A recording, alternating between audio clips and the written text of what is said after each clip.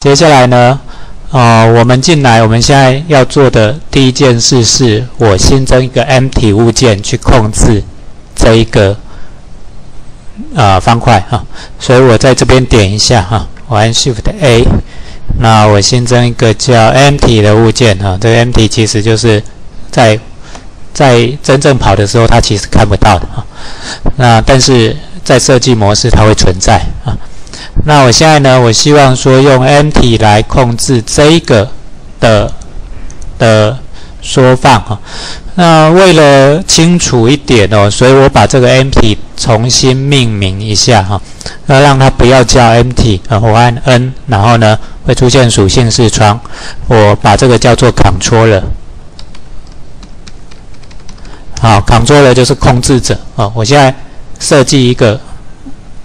空空物件让它叫控制者啊，那接下来呢，我就选回这一个啊立方体，选回这个立方体之后呢，我们一样就是设定啊它的呃，我还是控制它的的 Y 轴缩放就好了啊，哎 Z 轴好了，Z 轴缩放，那我这边按 Add Single Driver 啊，就是照刚刚的方式啊，那。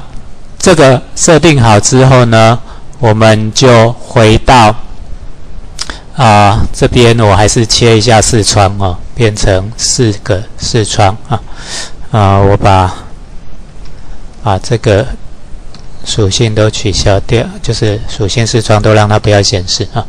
那我还是弄成四个视窗啊，这样子等一下比较看得清楚。好，四个视窗 OK 了哈。好，接下来呢，我们就在这里稍微对一下哈，这个顶视角好了啊，这个是呃正视角好了。好，那这样子好，那在这里我们一样去选那个 Graph Edit 啊，不是这个 View，是这里啊，Graph Edit。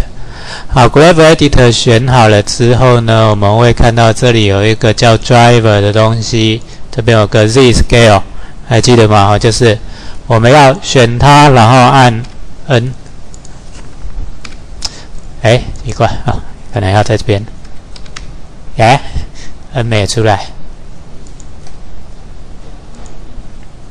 选一下，然后按 N 属性，哎。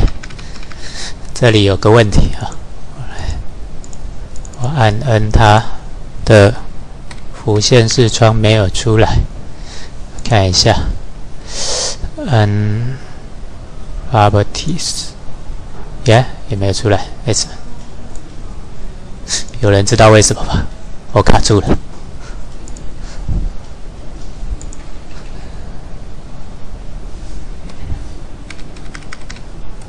好。N 为什么没有出来嘞？哎，有了，奇怪哦，刚刚不知道为什么啊。好，按 N 出来了啊，所以有时候我真的搞不清楚为什么刚刚会失败啊。好，按 N 出来之后呢，这个变数的名称啊，我现在其实这一个东西是我希望它是啊。Z 轴的 scale，而且是这一个 cube 物件的 z 轴 scale，所以我就叫 cube z。哦，我喜喜欢写清楚一点啊。那控制的控制它的物件是用刚刚那个 MT 被我命名成 controller 的那个东西，就是这一个啊。那我用它的 z z 轴的 location 去控制啊，这样 z 对 z 比较好好处理啊。那接下来呢？这个 ESBR 的部分我就就要改啊。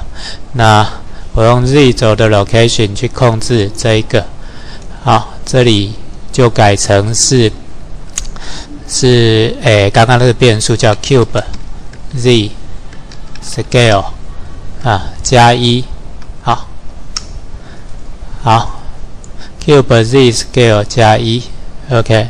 那现在因为 Z 呢？是零点四零五，所以它有点扁啊。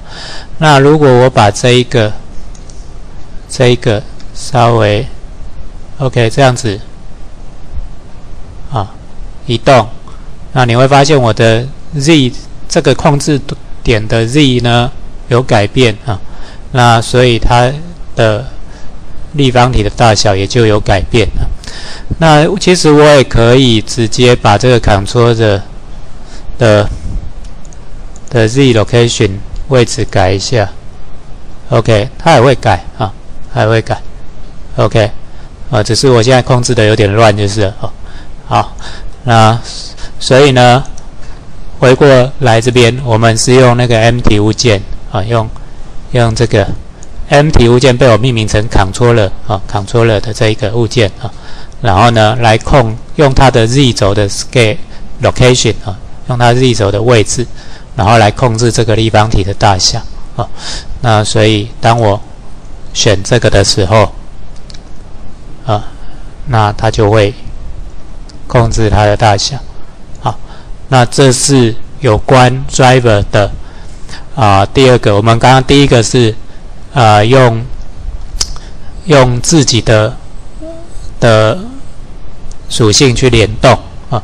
那第二个，我们是用一个外部的物件，啊，我们用的是 MT 物件去控制另外一个物件。那这部分请各位先做一下啊。那这个就当成今天的随堂作业第二题，OK？